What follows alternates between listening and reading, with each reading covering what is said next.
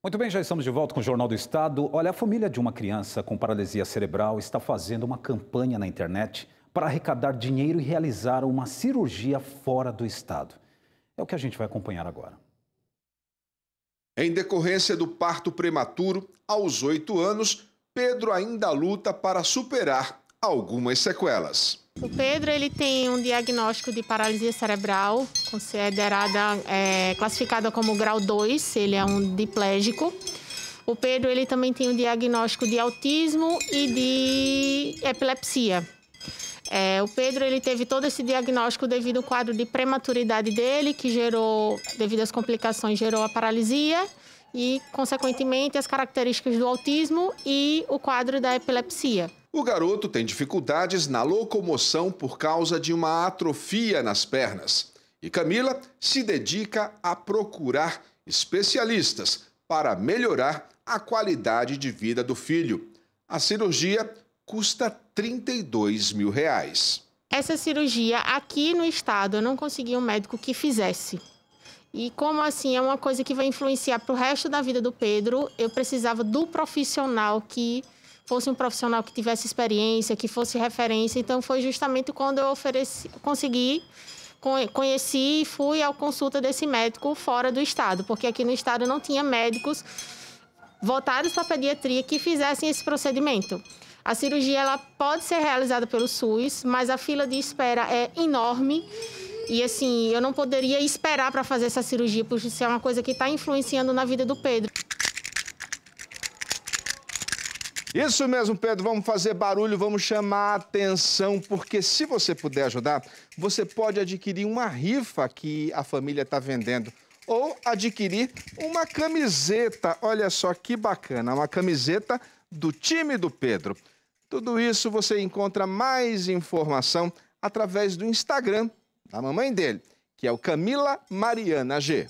A campanha foi feita para eu arrecadar os fundos do Pedro para mostrar que o diagnóstico que ele tem não necessariamente vai interferir no destino dele. O Pedro é uma criança que ele é funcional, que ele tem direito a, a andar, a ter o lazer dele, a fazer tudo isso. E a gente está fazendo a campanha, essa arrecadação das vendas das camisas e das rifas, justamente para conseguir fazer a cirurgia e para manter essa qualidade de vida dele.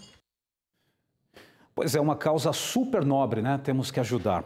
Só reforçando, todas as informações sobre a campanha estão no Instagram da mãe do Pedro, que é esse que aparece para vocês agora, arroba Camila Mariana G.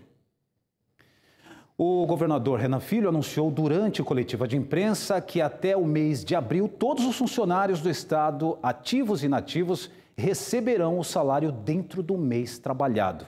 Essa é uma boa notícia que a gente acompanha agora.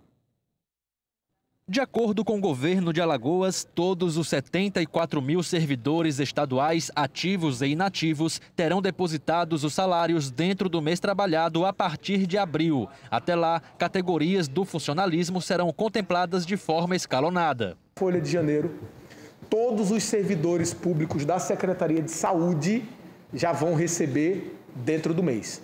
Dia 28 de fevereiro, nós vamos pagar todos os profissionais de educação Vamos colocar todos os profissionais da educação para receber dentro do mês. No mês de março, nós vamos colocar todos os profissionais da segurança pública. Vão receber a partir de março dentro do mês. E no mês de abril, todos os outros é, da segurança pública, exceto, tá? Em março, exceto delegados é, e oficiais da Polícia Militar e do Corpo de Bombeiros, que são os mais altos salários. Esses vão ser colocados em dia no mês de abril. Fiscais, procuradores. Né? Fiscais, procuradores de Estado, que são os mais altos salários do, do, do, do governo do Estado de Alagoas.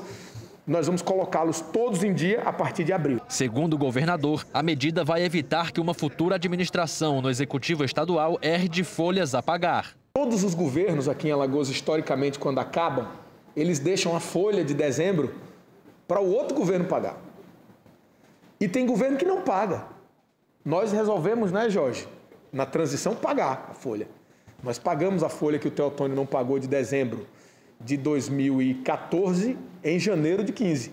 Mas muitos estados e muitas prefeituras, e o servidor fica sempre na iminência de ter um problema, não pagam. É, é um grande ato E eu acho que é um ato simbólico aí, que é o que a gente vai trabalhar esse ano para fortalecer o serviço público, é, melhorar as condições para os servidores públicos. A expectativa é de que 261 milhões de reais sejam injetados na economia do Estado, com o pagamento da folha dentro do mês.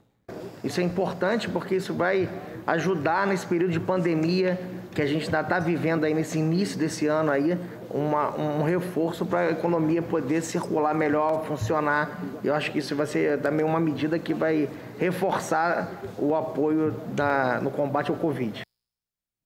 Mas é uma boa notícia, né? E o Jornal do Estado desta terça-feira fica por aqui, mas a gente volta amanhã às 7h20 da noite. Para você rever as nossas reportagens, é só acessar as redes sociais da TV Ponta Verde. Um bom descanso e até lá. Tchau, tchau.